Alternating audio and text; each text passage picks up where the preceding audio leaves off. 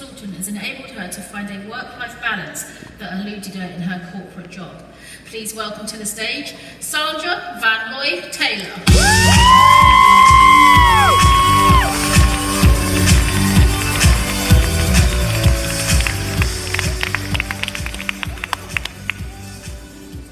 Good afternoon, everybody.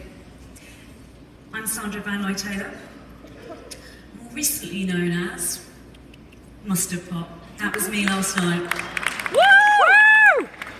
Before I go any further, I'd just like to do a couple of shout outs and thank yous. And I'd like to thank my sponsor, Vix Milani, and her team. Woohoo! And I'd also like to thank Mandy Smith and her team. Woohoo!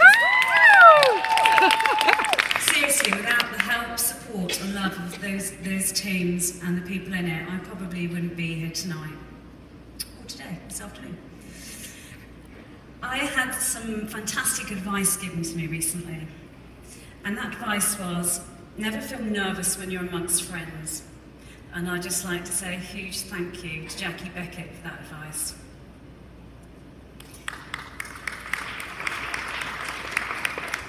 So, life before Cambridge was very different for me. Anybody know this, this logo? Bacardi. Bacardi. Absolutely. I joined Bacardi on the 18th of April 1995, so that was 20 years in corporate life. This used to be my mode of transport, and if you can imagine travelling five hours a day just to get to work and back. I used to put my child into, into his childminder at 6.30 in the morning and pick him up at 6.30 that night. We were both doing 12-hour days. We were both exhausted. We were both time poor. And we didn't do the things that we should have done to enjoy our time together. Every winter, when it was dark mornings, Harry used to say to me, Mum, when are you going to give Bacardi up? In more ways than one. I was putting on weight, but I was being paid very well.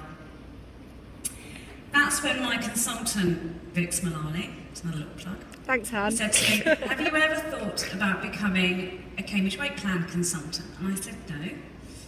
It's not the sort of thing that you saw on LinkedIn or, or a job board, you know. I was like, How do you do that?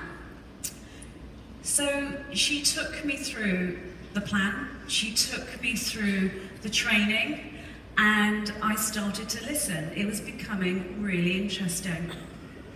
Coming from a corporate background, I wanted to know more about Cambridge. So I started to do my research, and I wanted to know what their values were. And I very quickly learned that they're investors in people, which means they put some fantastic training into head office staff, which means we get the best result, we get the best support ever. Accredited to DSA, this business is starting to stack up. And the Queen's Award for Enterprise and Innovation was just fantastic for me. It just meant sustainability, development, and innovation. For me, I was starting to change one corporate logo for another. I then wanted to know what support I was going to get if I started to become a consultant. And that's when Vix showed me the, the consultant only area. And I really could not believe the amount, the content that was on this portal, the amount of material that was at our fingertips on a daily basis.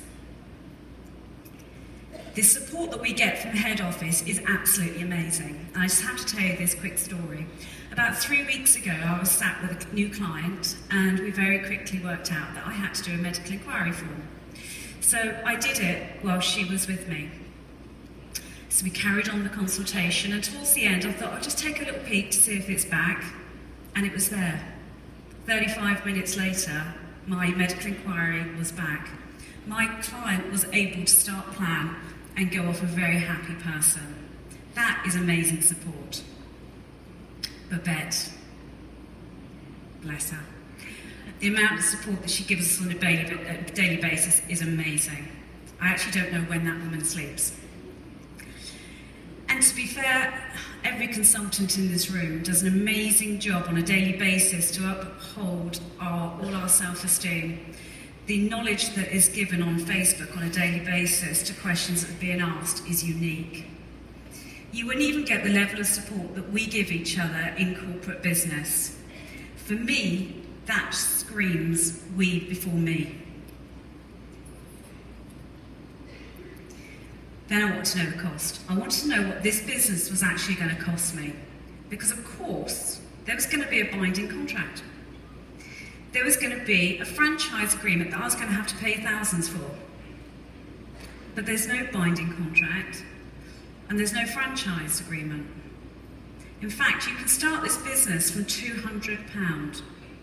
That's amazing. So, for the amount of material that's at your fingertips on a daily basis, and £200, you've got your own business. So I said to Vix, I'm in, where do I sign? So how did I get started? Pretty much the same way as every consultant in, in this room. For the first year, I worked my Cambridge business alongside my corporate business, and I did evenings and weekends. I did what I had to do to make this business work. I decaled my car, and I did that myself. The pair of tweezers posters in local shops, and I advertised in magazines. I gave my clients a discount, but I told them they had to work for it, and I'll explain that a bit later, and they did. I gift to Cambridge. I do love those boys. So now I take my son to school every day and I pick him up. And because I work from home now, we have a little puppy called Bo, who could fit in a smoothie box. He can't now, but we do love him. I work the hours that I want to work, and I work with the people I want to work with. I work with amazing consultants every day. I operate under the umbrella of an amazing company who invest in excellent training, support, and development of consultants. I've started my own downline.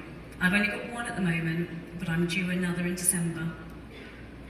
And I haven't been on a train since May.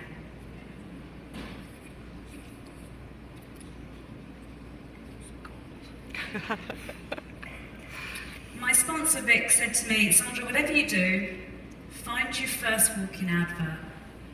And I did. Joanne Collins, bless her, walked into my life and she walked into my office.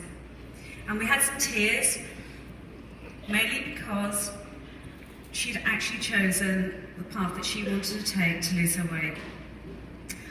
And secondly, the thought of going on another Center Parcs holiday and not being able to join in with the activities of her two children just crushed her. To be honest, I didn't expect Joanne to last six weeks, not like six months, and six and a half stone lighter. February this year, her cousin called her and said, uh, Joanne, I've just picked up this random magazine. Turn the page and you're in it. What's going on? So that obviously was all over Facebook and the pride that day was absolutely immense.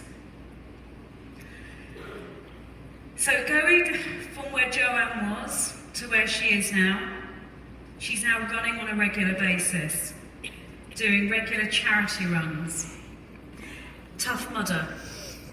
And more recently has raised £750 for cancer research through her running. And she's just one of many that I've managed to help. I'm really proud that Joanne is actually in the audience today, and I'd just love her to stand up so that you can share in her success.